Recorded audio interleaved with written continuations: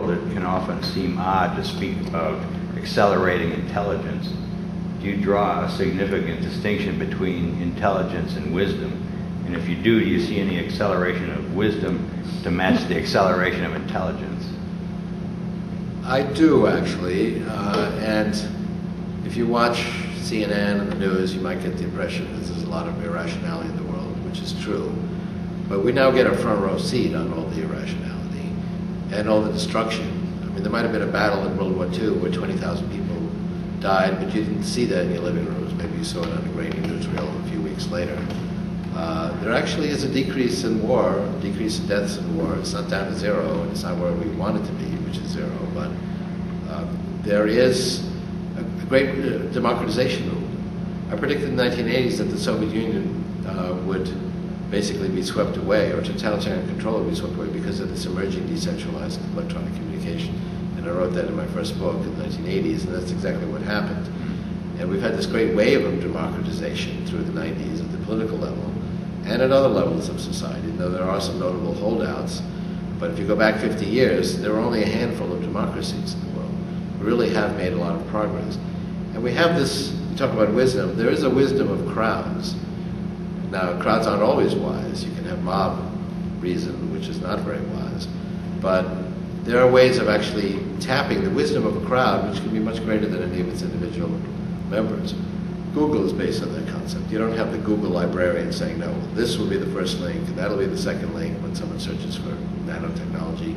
No, it's done through a self-organizing method based on what everyone else does what everyone else has searched for and all the links of all the sites. It's basically harnessing the wisdom of crowds, and there's been a lot of literature on how a crowd, if, if, if the information is tapped correctly, can really uh, create greater insight than any one individual blogs are like that. Any one blog is unreliable, but the whole blogosphere actually can uncover the truth of, of, of an issue uh, in ways that uh, weren't feasible before we had that uh, wisdom of crowds. And that's what these computer networks facilitate by being able to tie together communication links millions of people.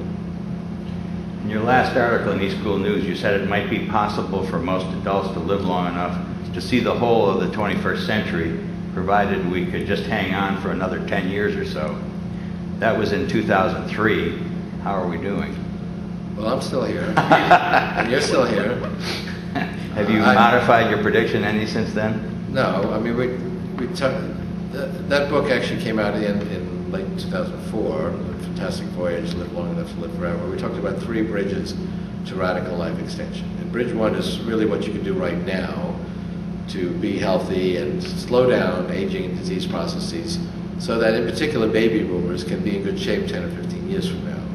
And it's not really too hard for our kids, but for baby boomers, uh, there's really a lot more we can do than people realize to, to remain healthy.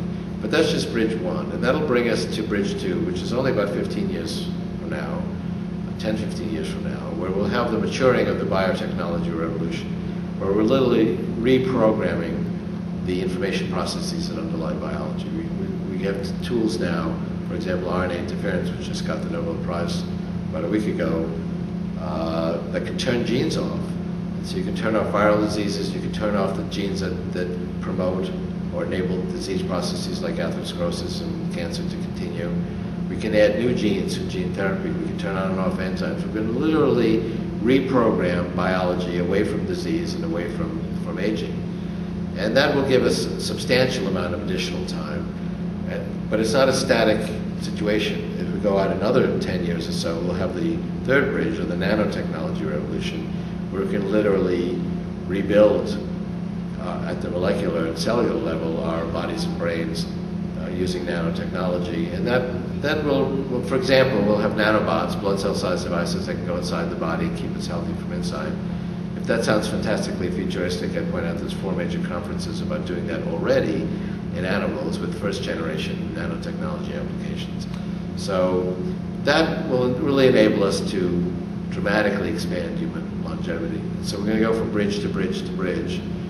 But right now, it's actually important to apply bridge one and aggressively apply the, the moving landscape of knowledge we have on how to remain healthy. Well, let's agree then to meet again in 40 years and talk about where we are. Thank you very sooner. much. My pleasure.